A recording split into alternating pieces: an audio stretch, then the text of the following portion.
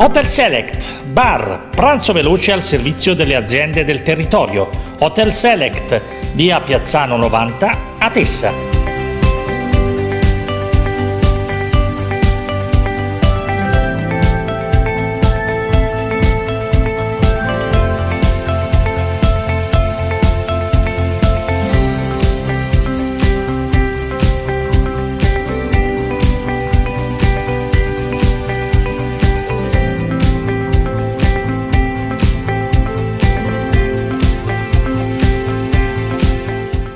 La giornata dell'11 ottobre 2020 sarà ricordata come una delle date fondamentali nella storia calcistica tessana. Dopo vent'anni di assenza torna in scena per una gara di campionato lo storico derby cittadino tra Atessa e Val di Sangro. Fu infatti nell'ormai datato anno 2000 che le due squadre incrociarono i propri destini nel campionato di promozione. Da lì a qualche anno la Polisportiva Val di Sangro iniziò la sua scalata verso la Serie C2 e la Tessa, prima della fusione, arrivò a disputare diverse stagioni in eccellenza.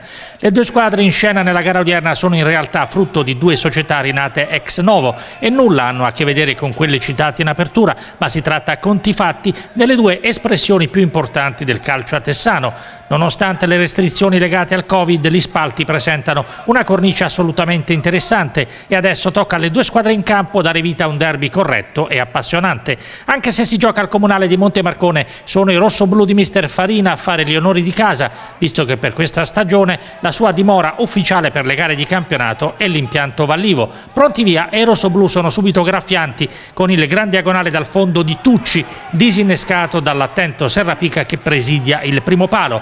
La replica biancazzurra è affidata a Fonseca che dal limite manda la sfera a sorvolare la trasversale e al successivo sinistro a rientrare di Cardone dal vertice d'area, ma anche in questo caso Di Cencio rimane inoperoso. Al tredicesimo gli atessani tornano a pungere con il temibile traversone dal fondo dell'ex di turno di Biase, ma Palladino interviene tempestivamente allontanando la minaccia.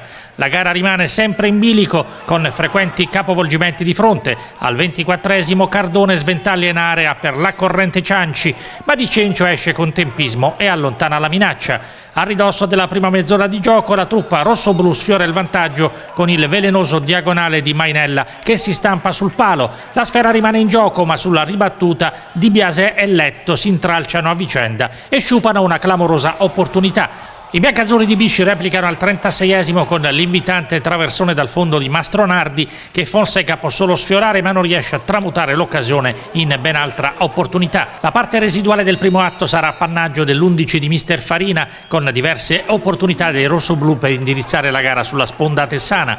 Al 41esimo Quintiliani appostato sul secondo palo non riesce ad intervenire sull'invitante spiovente da fermo di Mainella. Due minuti dopo Letto spedisce sul fondo vanificando l'ottimo lavoro propedeutico di D'Antonio sulla corsia di sinistra. La frazione va in naftalina con il raso terra dal limite dello stesso letto, con Serrapica sulla traiettoria che lascia sfilare a fondo campo. Alla ripresa dei giochi la gara segna quasi in avvio il suo punto di svolta. Si gioca da 8 minuti infatti quando il signor Carlini di Lanciano ravvisa il fallo in area di Benedetti sulla corrente Cianci e indica senza indugio il dischetto. Dagli 11 metri Carpineta va a segno nonostante il disperato tentativo di Dicencio calcio che intuisce la traiettoria ma non può impedire la disfatta. I biancazzurri ringalluzziti dal prezioso vantaggio provano a chiudere i discorsi con il successivo acuto di Fonseca e dell'avanzato Mastronardi che sugli sviluppi di un corner di Cardone provano a ribadire nel sacco. Sarà in definitiva L'ultima occasione per la squadra sangrina con la Tessa che al contrario chiuderà in attacco e non poteva essere altrimenti vista l'impellente necessità rossoblù di rientrare sui giusti binari. Al 25 sullo spiovente da fermo del neo entrato Pili, Benedetti e il neo entrato d'Ortona finiscono a terra in area ma il direttore di gara lascia proseguire non ravvisando irregolarità. L'azione prosegue ma la difesa sangrina riesce a rimediare con affanno. Cinque minuti dopo Serrapica allarga i guantoni e chiude la porta porta al diagonale in area di Mainella. In pieno recupero gli atessani protestano per il contatto in area tra capitano Gennaro Tano e Rossi. Il signor Carlini vede tutto e non è della stessa opinione lasciando proseguire. Il fischietto frentano è protagonista a ridosso del triplice fischio, allorquando estrae il rosso diretto ai danni dello stesso Rossi, punito per il fallo da ultimo uomo su Rossetti.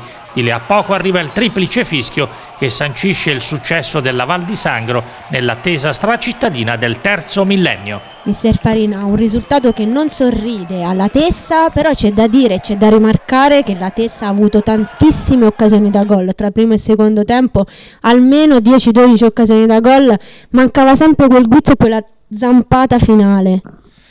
Beh, come dici bene tu Tiziana, c'è grosso rammarico per la sconfitta di oggi, al di là che del derby, però abbiamo continuato sulla falsa riga domenica scorsa, due grandi prestazioni che purtroppo ci vedono perdenti è un periodo che va così, chi ha giocato a calcio, chi allena, chi ha vissuto da giocatore sa che questi momenti ci sono, adesso siamo in Cudine e dobbiamo essere bravi a essere in Cudine, ma presto arriveremo a essere martello su queste prestazioni. Una partita in cui si è rivisto un po' il tifo, questa è una nota positiva perché questo Covid già rende tutto più difficile, era una partita sentita, non si giocava da vent'anni, è stata una partita anche bella da vivere.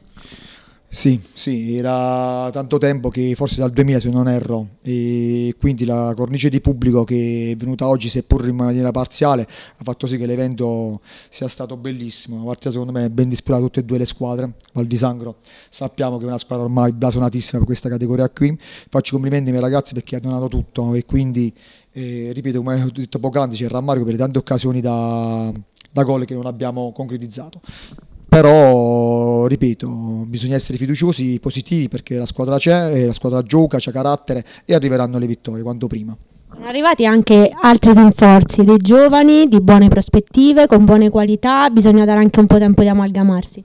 Ma certo, uh, domenica scorsa abbiamo incontrato, tra domenica scorsa e quest'oggi vengono due squadre che hanno un progetto tecnico che va avanti da diversi anni, con dei giocatori che conoscono a menadito la categoria, quelle che sono le criticità di questo, di questo campionato. Noi siamo sicuramente una buona squadra, però l'esperienza è indubbia che ci manca perché noi annoveriamo gente che 3-4 elementi hanno fatto l'eccellenza, altri erano con me in categoria categoria e quindi forse stiamo pagando anche questo, però non posso rimproverare niente ragazzi per la benegazione che ci mettono in campo, ho detto solamente una cosa che eh, sono orgoglioso di loro e quindi dobbiamo continuare solamente così. Mister, un derby che non si giocava da tantissimi anni, quasi 20, l'ultimo era finito 0-0, a lei l'onore di ricominciare con un risultato positivo, però non la vedo felice al 100%.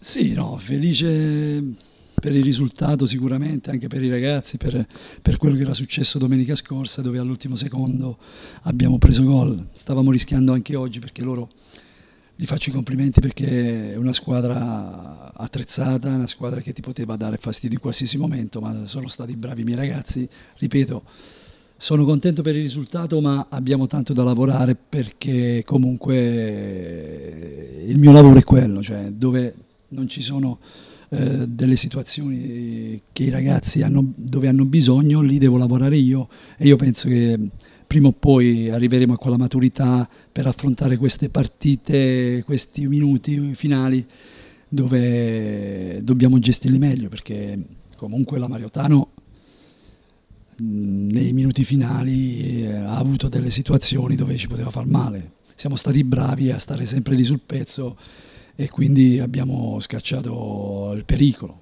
Però diciamo che oggi sono contento anche per, per i nostri dirigenti perché comunque è una partita che non si affrontava da vent'anni e quindi oggi possiamo dire la nostra, però faccio i complimenti anche agli avversari per anche per la sportività che hanno avuto, quindi complimenti a tutti.